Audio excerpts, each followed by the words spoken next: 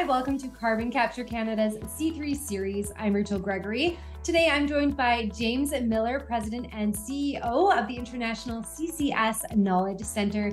James, thanks for being here. Hi, Rachel. Thanks so much for having me. I appreciate it. James, tell us about the International CCS Knowledge Center. Well, other than being a mouthful for a name, we're an organization that's been around since uh, 2016.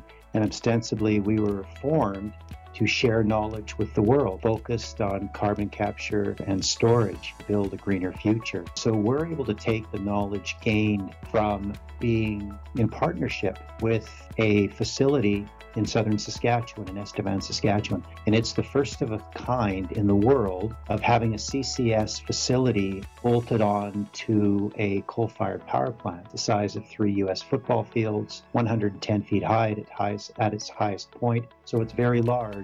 Being associated with a facility that's been operating for eight years we've learned a lot, and there's not a lot of them in the globe. We're able to speak to it from the heart of knowing how to construct, operate, and execute on a facility and provide those learnings. How important is CCS to fighting climate change and achieving the Paris Agreement? Well, it's a good question. And you just have to look at the UN's International Panel on Climate Change and the International Energy Agency. And both have said it's critical that we have large scale CCS projects adopted. If we don't, we will not meet the aggressive targets of Paris.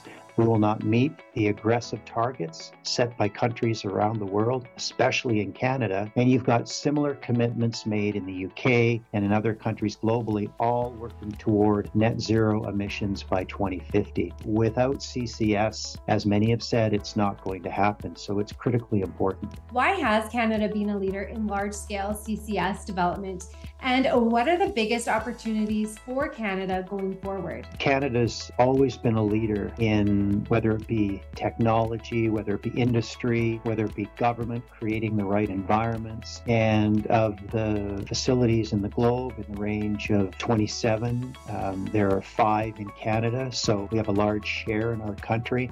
The energy industry has been really focused on lowering emissions. So I think Canada's always had that commitment. We pack a punch and, and fight above our, our fighting weight in what we have done in sharing policy with the world, in sharing technology.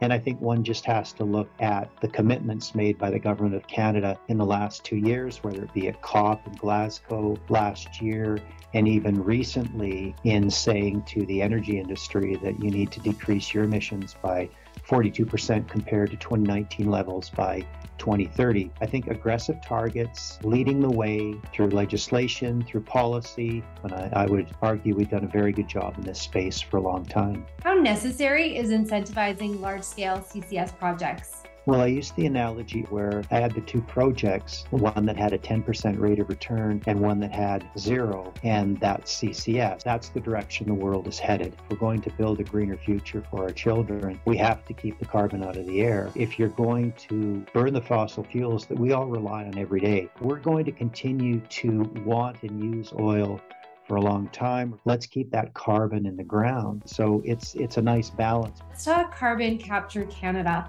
How important is an event like this in building a low carbon ecosystem of professionals in Canada? I think it's I think it's critical. You know, you look at what uh, the Pathways Alliance has done in Alberta, uh, the largest uh, energy producing companies, 95% of the emissions, they've all banded together to share technology to work together toward a common goal of net zero by 2050. And I see that happening uh, at a conference like this, where you're bringing together people from across Canada. There's people coming from the US, there's people coming from overseas.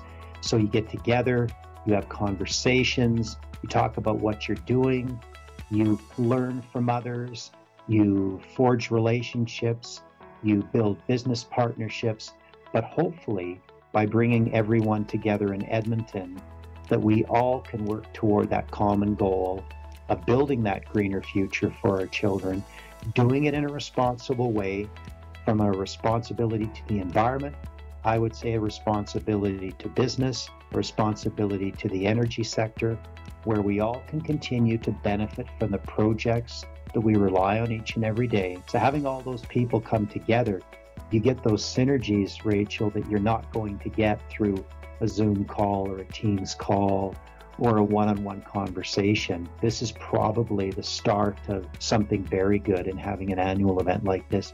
Thank you, James, for chatting with me today and being part of our C3 series. We're excited to see you at Carbon Capture Canada. I'm excited to be there, Rachel. Thanks so much.